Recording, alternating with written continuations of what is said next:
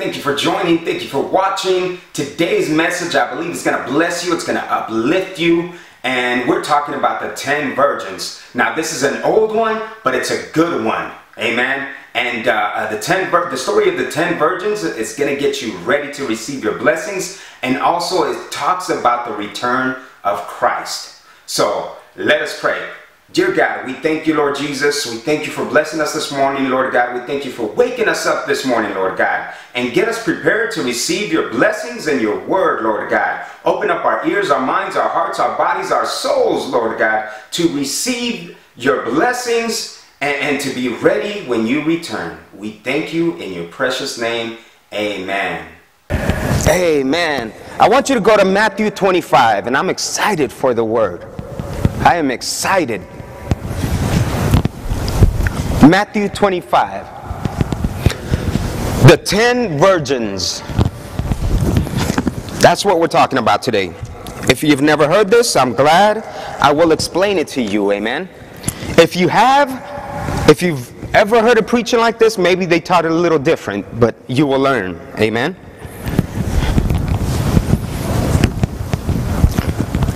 And, and I know a lot of people are probably like, what are 10 virgins have to do with me?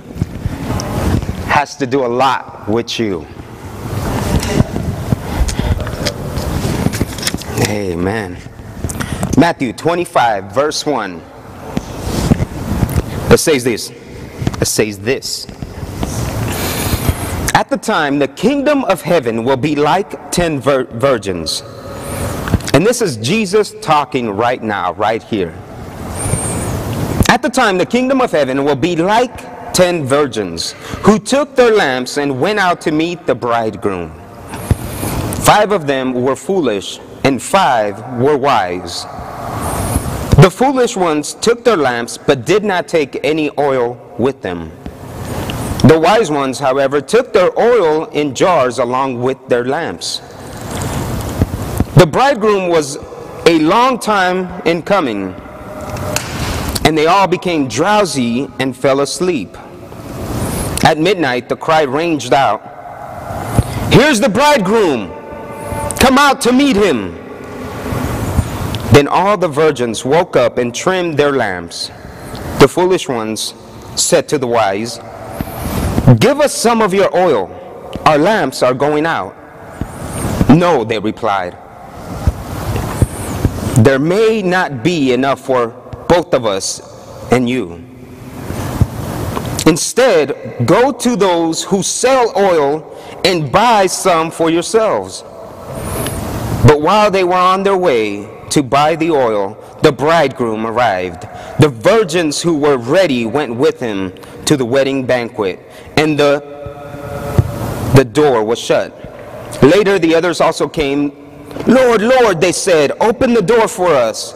But he replied, Truly, I tell you, I don't know you. Therefore, keep watch because you do not know the day or the hour.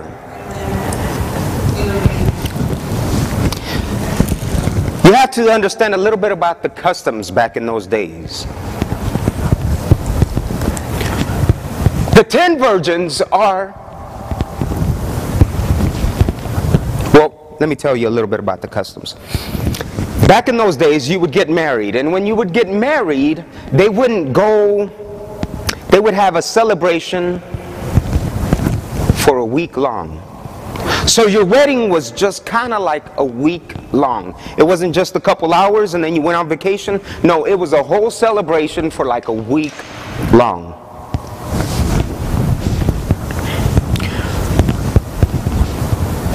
Now, at this particular moment, God, Jesus Himself, is saying something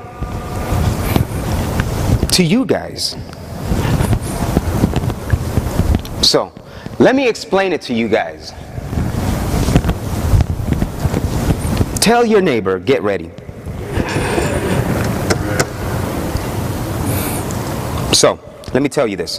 Who is the bridegroom? Jesus is the bridegroom. He's the one coming. Jesus is our bridegroom.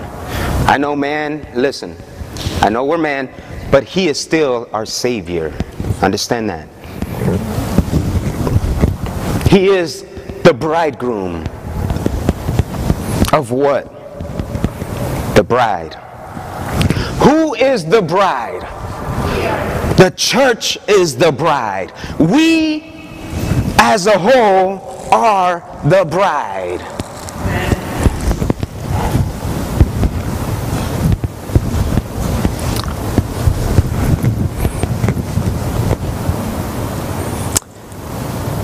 And see, and then in this story, the church represents a virtuous, pure virgin who has not been defiled.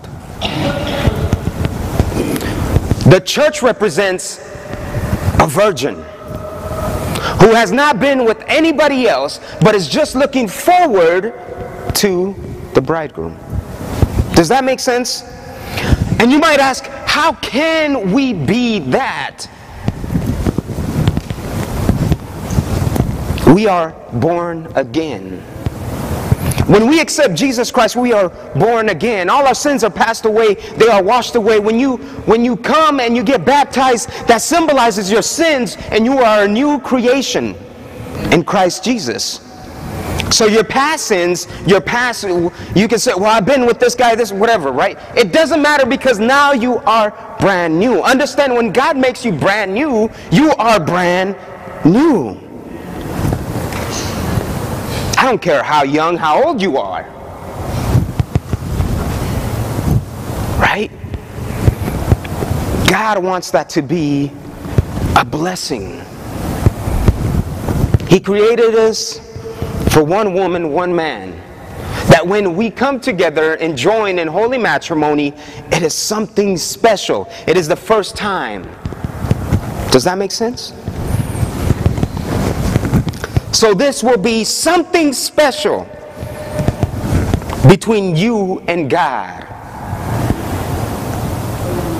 Who are the ten virgins?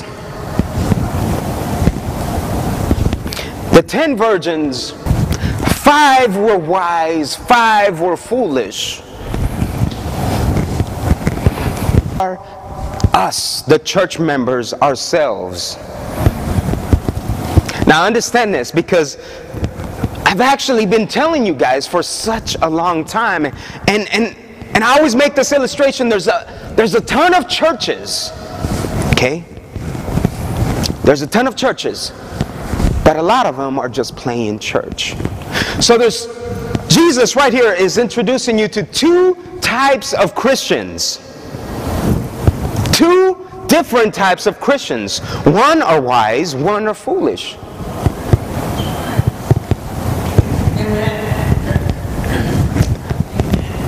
Five and five. 50% of you guys are wise, 50% of you guys are foolish.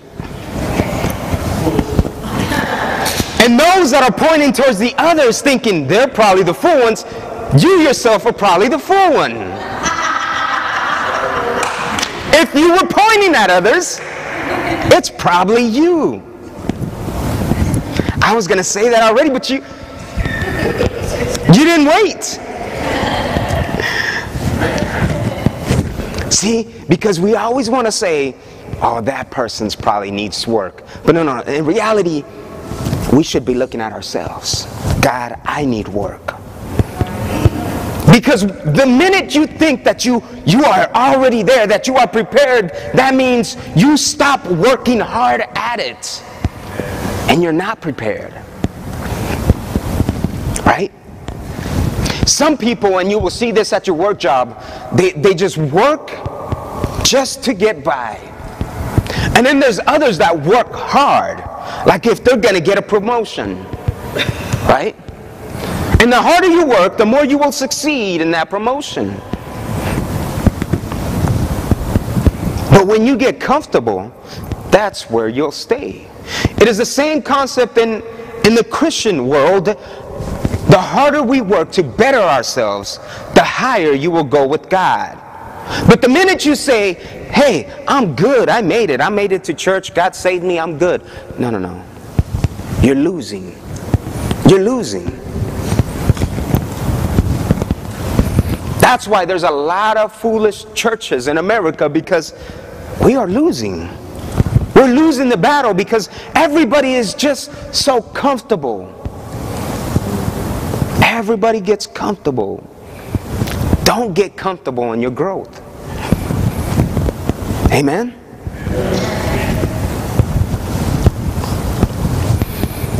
So, 50 50. What does the lamp symbolize? See, back in those days, they didn't have electricity lamps that we have. I was telling you guys how I bought my wife some nice lamps, and those are electrical. You just plug them in. And she's like, well, th there's no, there's no spot over here to plug it in. And I was like, it's okay. It's just for decoration anyways. Honestly, because I don't see myself sitting right there by the lamp reading a book at night. Right? If I did, I'll just turn on the big light. So in reality, a lot of our lamps, now some of you guys might actually use your lamps, but in reality, most of the houses that we go to, they just kind of sit there for decoration.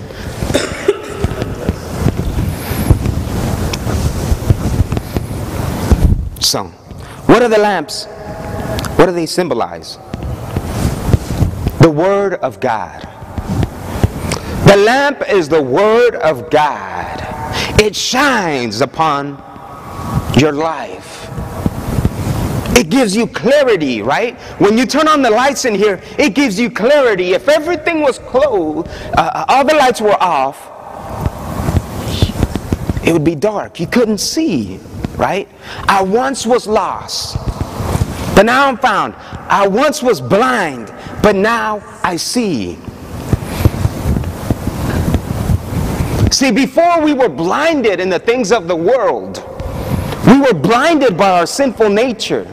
We thought this is all there is to life. But when we met Jesus Christ, He turned on the light and we are able to see different. Watch this. Now, let me tell you, back in those days, they didn't have the same lamps. Okay? It was very valuable that you carry oil with your lamp. They didn't have electricity, so they had to use fire. It wouldn't burn without the oil. It's kind of like a, a, gasoline, right? You set it on fire, it lights up. So you either had a couple different types of lamps back then. You either had what they would call was a stick and a rag around it, and you dipped it in the oil, so it was more like a torch. Or you had some kind of little contraption that, that carried the oil and some kind of wick on it and, and you would set that on fire. But you had to keep putting oil on it. That way it would keep inflamed all night. Now understand this is very, very valuable back in those days because guess what? They didn't have electricity, right? They didn't have it. So, if you didn't have that, you couldn't see anything. Right? You wouldn't be able to see. So, what does the oil symbolize? It's the Holy Spirit. The lamp in your life is the Word of God. The oil that keeps that in your life flaming is the Holy Spirit keeps you wanting more in life is that Holy Spirit. That keeps you alive is that Holy Spirit. See, you got the Word of God. Now, how do you apply the Word of God? Through the Holy Spirit. Because without the Holy Spirit, we would not have this understanding. Right? Adam told me last week weekend that uh, he was at a restaurant and he began to pray for some soldiers after he left here Sunday, Sunday morning. He began to pray with some soldiers at the restaurant, right? That was the Holy Spirit revolving in him, telling him, go pray for them.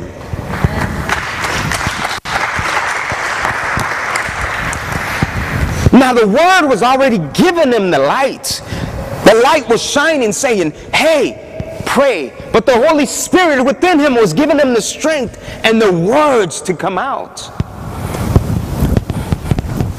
See, we don't have to know, we don't have to be Bible scholars.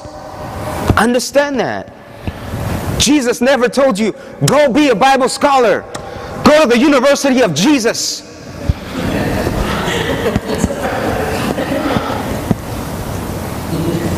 Only for a hundred thousand dollars.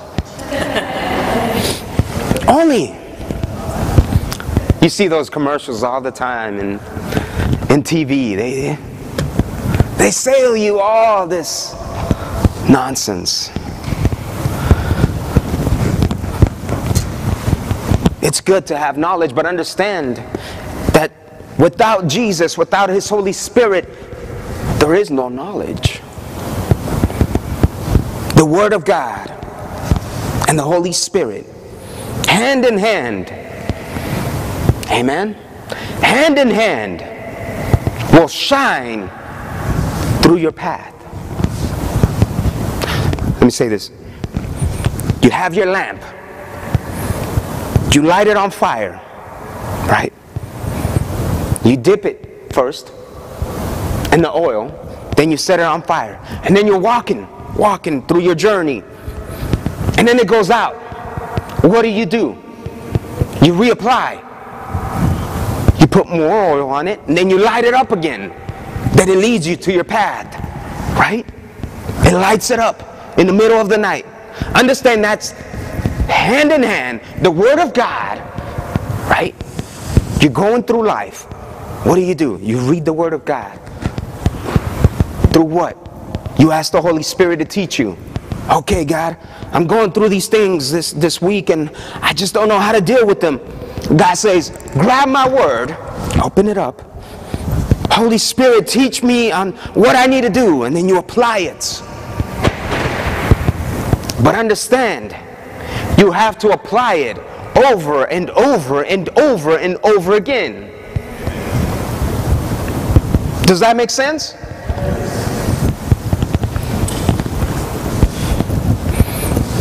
What does the jars that carry the oil represent? It's our hearts. Our hearts. So we must put the Holy Spirit upon our hearts. Amen? We must carry the Holy Spirit within our hearts. We must open up our heart and pour in God's salvation God's word, God's blessings.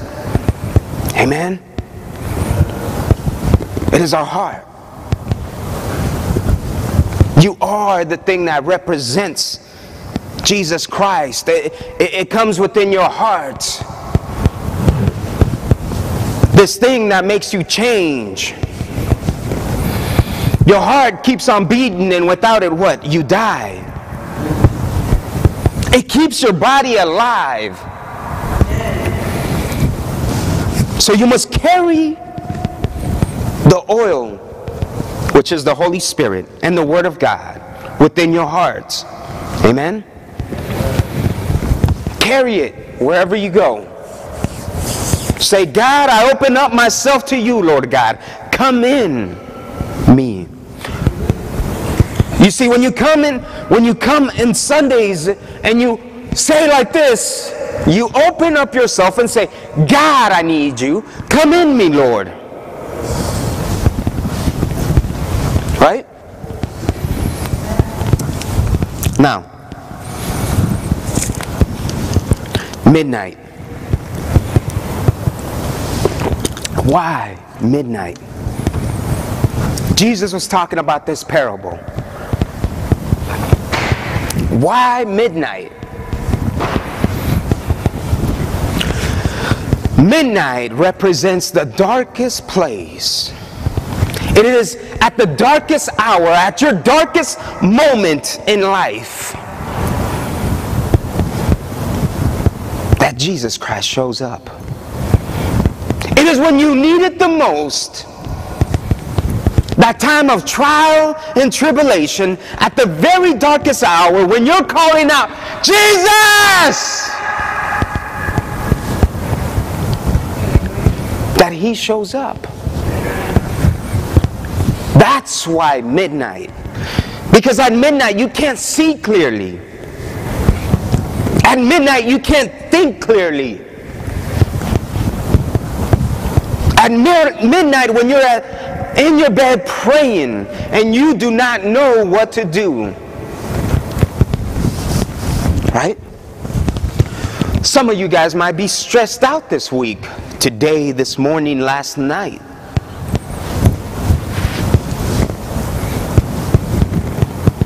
Now, but here's the difference.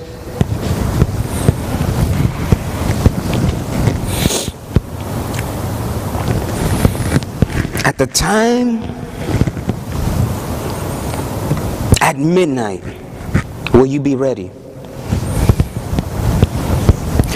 See, at midnight, we get tired. Some of you guys work at night, so maybe you get tired in the morning. But at midnight, we get tired, we grow weary. So you might be asking God to do a miracle in your life. You might have been asking and praying and, and praying and praying and worshiping and worshiping and, and praying and praying, and all of a sudden you're praying and you're praying and you started uh, early in the morning and now it's midnight and, and you're getting tired and you're getting tired. You're getting weary. You're getting tired. You're getting weary. And you begin to fall asleep.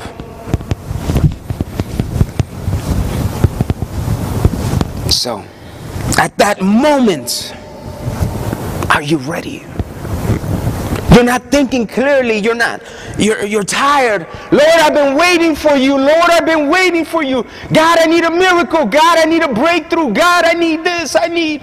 God, you know that I'm suffering right now. You know what I'm going through, Lord God. You know my pain, Lord God. And you begin to get tired and tired and weary. Jesus is saying, don't grow tired. Don't grow weary because when you least expect it, I am there. I'm coming back. I'm saving you. I'm going to rescue you. Trust in me. Believe me that I'm coming. You just be ready to receive what I'm about to give you.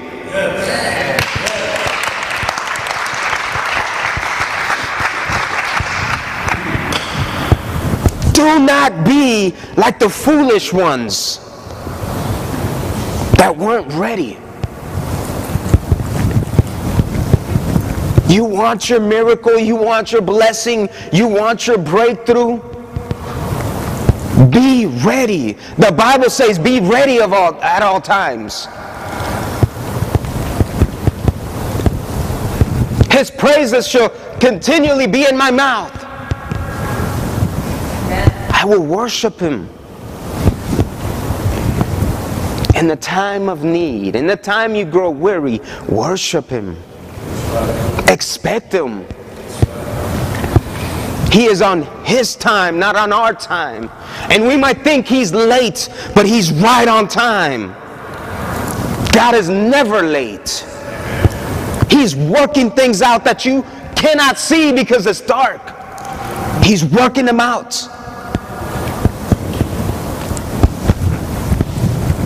Now, to the church, he's saying, He's coming back soon.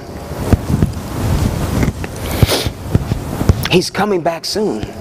All around the world, and what do you see? Disaster happening. You see people in churches preaching all kinds of crap. That's what it is.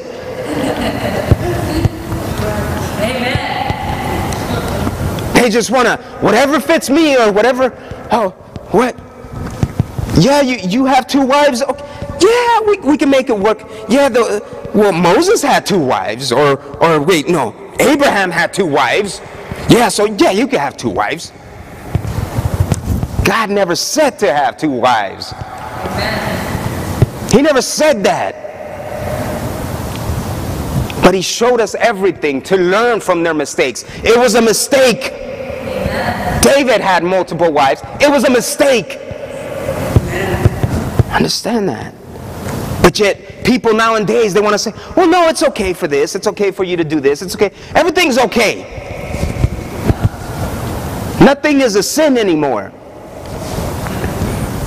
Why? Because the churches all around the world has, have gone weary. They've gone tired because for years they said, Jesus Christ is coming back, and they've gotten tired. So they're not ready. They're not ready. But he's coming back on his time. So the Bible says to be ready. Do not be like the foolish ones. Be like the wise one. Be ready. Have your word. Guard it with your heart. Guard the Holy Spirit.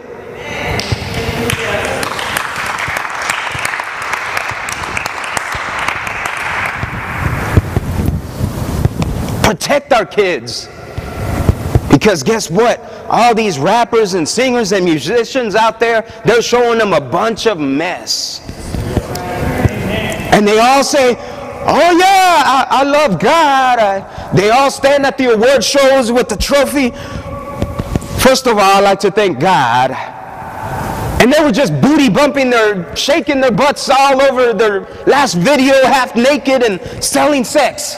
That is not God. Do not thank God. That, that might be your God, the devil, but not my God.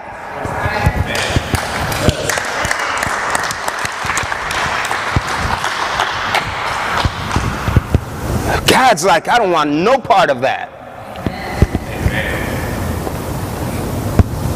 I'm not there, right? So we must be ready. Don't grow tired and weary in this life. I know sometimes we get tired. Oh, I don't want to go to church today. I'm so tired. No, no, be ready. Get to church because then we will give you what you need.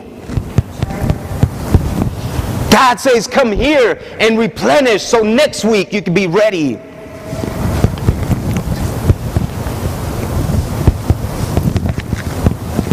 That outlet. Nowadays, it is that outlet. Without that outlet, our electrical lamps don't work, right? Jesus Christ is that outlet. You're trying to lamp your world without that plugging in first. You have to plug into Jesus Christ. Amen. Plug in.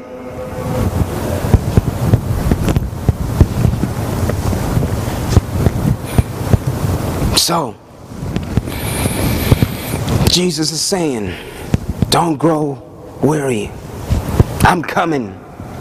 And we call on Jesus, and you're like, Jesus. And Jesus is like, I'm coming. Like Jesus, you see what I'm going through this week? Jesus saying, I'm coming. You know this world, it's all going crazy. Jesus saying, I'm coming.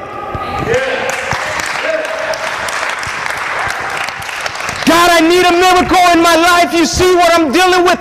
Jesus is saying, I'm coming. I'm coming. I see you. I'm coming. Get ready. Be ready because I'm coming. You want your breakthrough? You want your miracle? God has it. Jesus has it. He sees it. What the most thing that you want and need in your life, that thing that you've been praying over and over and over, do not grow weary in doing so because Jesus Christ says, I am coming.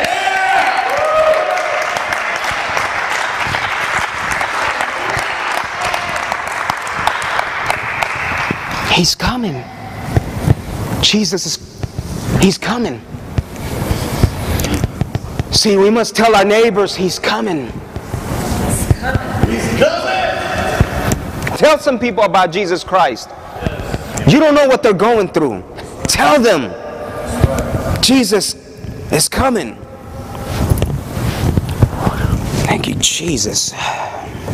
Yes, God. We must wake them up.